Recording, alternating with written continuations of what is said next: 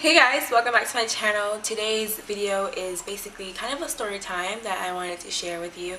The reason why I wanted to share this video with you guys is because obviously you guys are back in school and there's a lot of females that can have so much hate in school. So I just want to touch base on like confidence and give you guys my story on me during my breast reduction. So it was ever since middle school. Like I've been teased about my big boobs. I've always was bigger in this area and um, it kind of like got to me once I got into high school and 10th grade I said that is it. I asked my mom can she can I get a breast reduction and we went to um, my first consultation and they said yeah you they recommended it actually for me because um, I was so small and my boobs are so big like it was a health issue.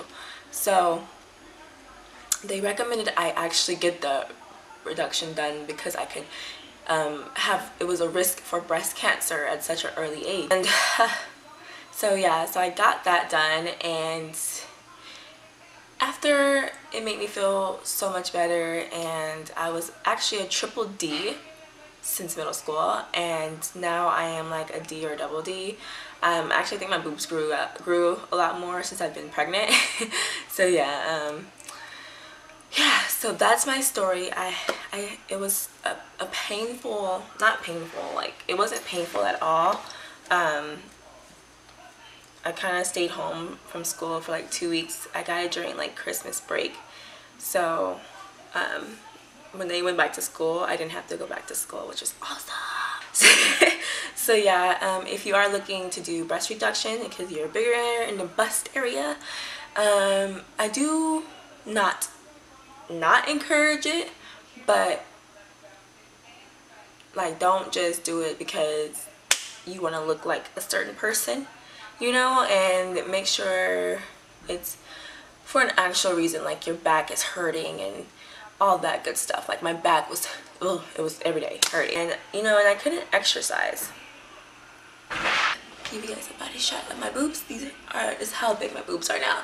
It's not, it's big, but I used to be bigger, honestly. Thank you if you guys want to get to get the surgery done, definitely talk to your parents, see what they think about it, because you know, they're gonna have to be the ones to pay for it and give you the sign of consent. Now, I just want to kind of touch on base with like confidence and don't do what you feel like you, don't like try to like get surgery just because you feel like you should look a certain way.